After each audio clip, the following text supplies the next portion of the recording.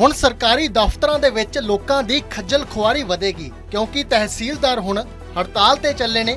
3 ਦਿਨ ਦੇ ਲਈ ਲੋਕਾਂ ਨੂੰ ਭਾਰੀ ਮੁਸੀਬਤਾਂ ਦਾ ਸਾਹਮਣਾ ਕਰਨਾ ਪਏਗਾ। 19 20 ਅਤੇ 21 ਅਗਸਤ, ਇਹ ਦਿਨ ਤਹਿਸੀਲਦਾਰ ਹੜਤਾਲ ਕਰਨਗੇ। ਪੰਜਾਬ ਰੈਵਨਿਊ ਅਫਸਰ ਐਸੋਸੀਏਸ਼ਨ ਨੇ ਐਲਾਨ ਕੀਤਾ, ਵੱਖ-ਵੱਖ ਇਹਨਾਂ ਦੀਆਂ ਮੰਗਾਂ ਨੇ, ਜਿਨ੍ਹਾਂ ਨੂੰ ਲੈ ਕੇ ਇਹਨਾਂ ਦੇ ਵੱਲੋਂ ਰੋਸ ਪ੍ਰਦਰਸ਼ਨ ਕੀਤਾ ਜਾਵੇਗਾ। ਤੁਹਾਨੂੰ ਦੱਸ ਦਈਏ ਕਿ ਤਹਿਸੀਲਦਾਰਾਂ ਦੇ ਵਿੱਚੋਂ ਪੀਸੀਐਸ ਕਾਰਡ ਲਈ ਨੋਮੀਨੇਸ਼ਨ ਵਾਸਤੇ ਸਾਲ 2021 ਅਤੇ ਸਾਲ 2022 ਸੰਬੰਧੀ ਪੈਂਡਿੰਗ ਪਏ ਪੈਨਲ ਨੂੰ ਭੇਜਣ ਦੀ ਇਹਨਾਂ ਦੇ ਵੱਲੋਂ ਮੰਗ ਕੀਤੀ ਗਈ ਹੈ। ਇਸ ਤੋਂ ਇਲਾਵਾ ਤਹਿਸੀਲ, ਸਬ ਤਹਿਸੀਲ, ਦਫ਼ਤਰਾਂ ਦੇ ਵਿੱਚ ਸੁਰੱਖਿਆ ਕਰਮਚਾਰੀ ਤਾਇਨਾਤ ਕਰਨ ਦੀ ਮੰਗ ਹੈ। ਇਸ ਤੋਂ ਬਿਨਾਂ ਰੈਵਨਿਊ ਅਫਸਰਾਂ ਨੂੰ ਸਰਕਾਰੀ ਗੱਡੀਆਂ ਦੇਣ ਦੀ ਮੰਗ ਹੈ। ਚਾਰਜ ਸੀਟਾਂ ਨੂੰ ਦਾਖਲ ਦਫ਼ਤਰ ਕਰਨ ਬਾਰੇ ਇਸ ਤੋਂ ਬਿਨਾਂ ਜ਼ਿਲ੍ਹਾ ਪੱਧਰ ਤੇ ਲੀਗਲ ਸੈੱਲ ਸਥਾਪਿਤ ਕਰਨ ਸੰਬੰਧੀ ਐਸਟੀਐਫ ਦੀ ਅਦਾਇਗੀ ਸੰਬੰਧੀ ਇਹ ਮੰਗਾਂ ਨੇ ਜਿਨ੍ਹਾਂ ਨੂੰ ਲੈ ਕੇ ਤਹਿਸੀਲਦਾਰ ਹੜਤਾਲ ਕਰਨਗੇ 19 20 ਅਤੇ 21 ਅਗਸਤ ਨੂੰ।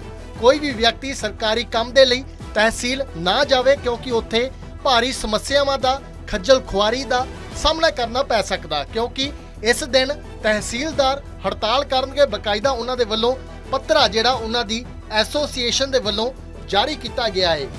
ਜਿਸ ਕਰਕੇ ਸਮੁੱਚੇ ਪੰਜਾਬ ਦੀਆਂ ਤਹਿਸੀਲਾਂ ਦੇ ਵਿੱਚ ਕੰਮ ਬੰਦ ਰਹੇਗਾ ਅਤੇ ਇਸ ਪੱਤਰ ਰਾਹੀਂ ਪੰਜਾਬ ਦੇ ਲੋਕਾਂ ਨੂੰ ਅਪੀਲ ਕੀਤੀ ਗਈ ਹੈ ਕਿ ਮਿਤੀ 19 20 ਅਤੇ 21 ਤੋਂ ਦਫ਼ਤਰੀ ਕੰਮਾਂ ਦੇ ਵਿੱਚ ਖੱਜਲ ਖੁਆਰੀ ਤੋਂ ਬਚਣ ਦੇ ਲਈ ਦਫ਼ਤਰਾਂ ਦੇ ਚੱਕਰ ਨਾ ਲਗਾਏ ਜਾਣ ਅਤੇ ਨਾ ਹੀ ਰਜਿਸਟ੍ਰੇਸ਼ਨ ਦੇ ਕੰਮ ਸੰਬੰਧੀ ਅਪਾਇੰਟਮੈਂਟਾਂ ਲਈਆਂ ਜਾਣ।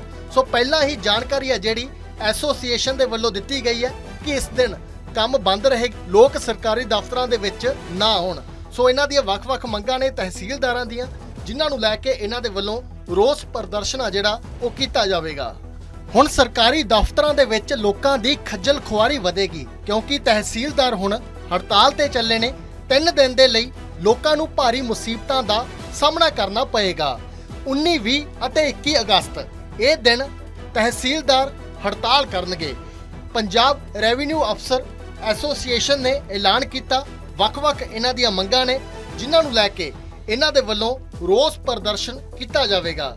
ਤੁਹਾਨੂੰ ਦੱਸ ਦਈਏ ਕਿ ਤਹਿਸੀਲਦਾਰਾਂ ਦੇ ਵਿੱਚੋਂ ਪੀਸੀਐਸ ਕਾਰਡ ਲਈ ਨੋਮੀਨੇਸ਼ਨ ਵਾਸਤੇ ਸਾਲ 2021 ਅਤੇ ਸਾਲ 2022 ਸੰਬੰਧੀ ਪੈਂਡਿੰਗ ਪਏ ਪੈਨਲ ਨੂੰ ਭੇਜਣ ਦੀ ਇਹਨਾਂ ਦੇ ਵੱਲੋਂ ਮੰਗ ਕੀਤੀ ਗਈ ਹੈ। ਇਸ ਤੋਂ ਇਲਾਵਾ ਤਹਿਸੀਲ ਸਬ ਤਹਿਸੀਲ ਦਫ਼ਤਰਾਂ ਦੇ ਵਿੱਚ ਸੁਰੱਖਿਆ ਕਰਮਚਾਰੀ ਤਾਇਨਾਤ ਕਰਨ ਦੀ ਮੰਗ ਹੈ। ਇਸ ਤੋਂ ਬਿਨਾਂ ਰੈਵਨਿਊ ਅਫਸਰਾਂ ਨੂੰ ਸਰਕਾਰੀ ਗੱਡੀਆਂ ਦੇਣ ਦੀ ਮੰਗ ਹੈ।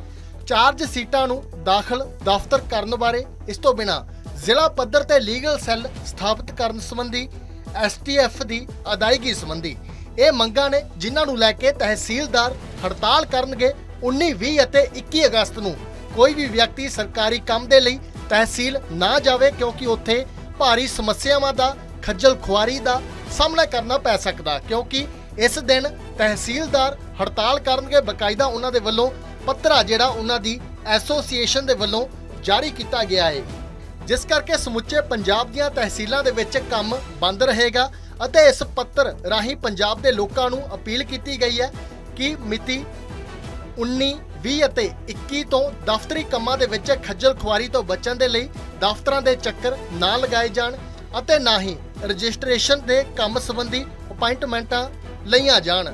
ਸੋ ਪਹਿਲਾਂ ਹੀ ਜਾਣਕਾਰੀ ਹੈ ਜਿਹੜੀ ਐਸੋਸੀਏਸ਼ਨ ਦੇ ਵੱਲੋਂ ਦਿੱਤੀ ਗਈ ਹੈ ਕਿ ਇਸ ਦਿਨ ਕੰਮ ਬੰਦ ਰਹੇ ਲੋਕ ਸਰਕਾਰੀ ਦਫ਼ਤਰਾਂ ਦੇ ਵਿੱਚ ਨਾ ਆਉਣ।